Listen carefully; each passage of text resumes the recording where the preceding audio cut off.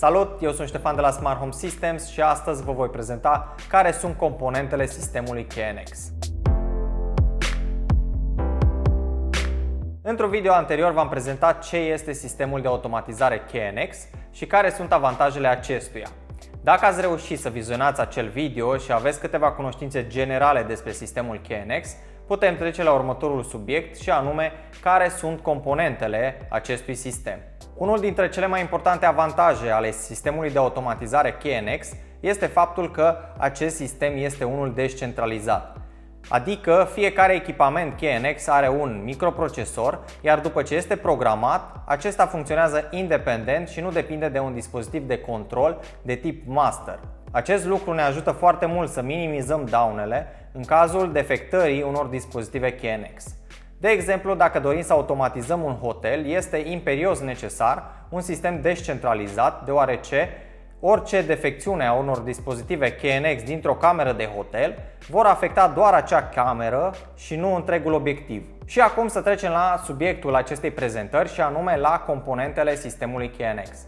Dacă ne raportăm la un sistem de automatizare complet bazat pe standardul KNX, avem două mari componente, una hardware și una software. Din cea hardware fac parte echipamentele de sistem, senzorii și actuatoarele, iar din cea software face parte programul ETS, cu ajutorul căruia se programează echipamentele sistemului KNX. Și acum să le luăm pe rând.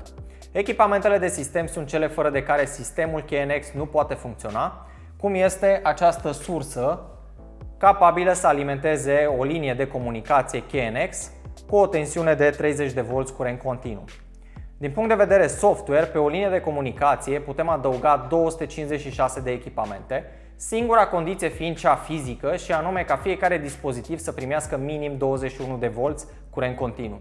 Cealaltă componentă importantă, fără de care sistemul nu poate funcționa, este chiar acest cablu de comunicație care leagă echipamentele între ele, supranumit cablu KNX și se găsește în magazine cu denumirea AIB Bus GST 2 Acesta se conectează în dispozitive cu ajutorul acestui conector KNX.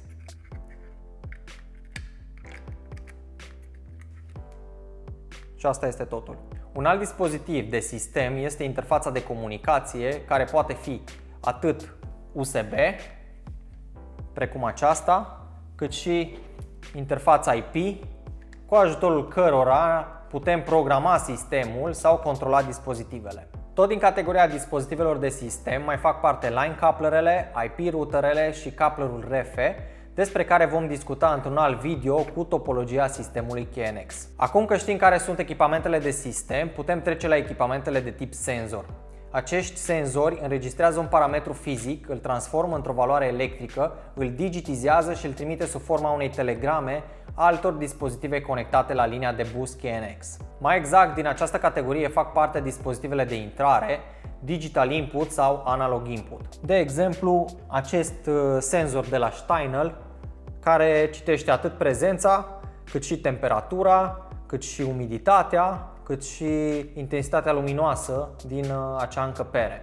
Acestea sunt uh, valori analogice și mai putem prelua informații digitale, de exemplu cu acest uh, dispozitiv care se montează într-o doză, care permite preluarea a patru intrări digitale, patru butoane sau contacte magnetice.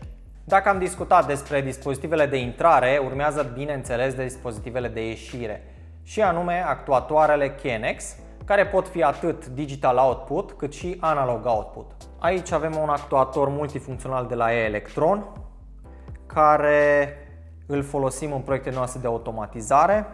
Este compus din 16 ieșiri digitale, 16 intrări digitale, un uh, conector KNX și un buton de programare. Noi îl folosim foarte des uh, pe acesta pentru că putem atât controla 16 circuite de iluminat, cât și 8 circuite de jaluzele, cât și 16 actuatoare termice sau uh, ventilatoare.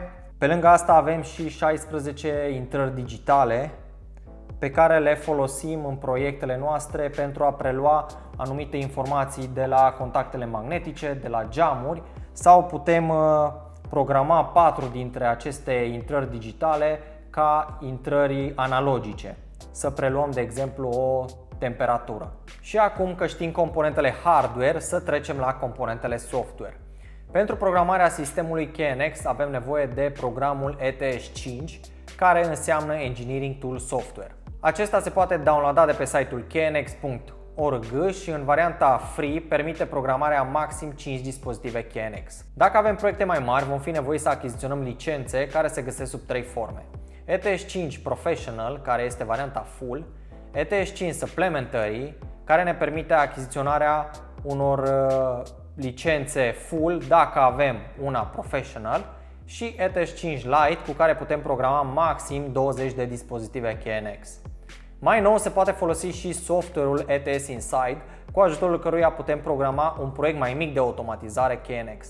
Mai exact, un proiect care are o singură linie de comunicație și maxim 255 de dispozitive. Dacă vrei să afli mai multe despre sistemul KNX, te aștept în secțiunea de comentarii, iar dacă ți-a plăcut acest video, abonează-te la canalul nostru de YouTube folosind butonul de subscribe. Până data viitoare te aștept pe site-ul nostru smarthomesystems.ro sau pe pagina noastră de Instagram Smart Home România.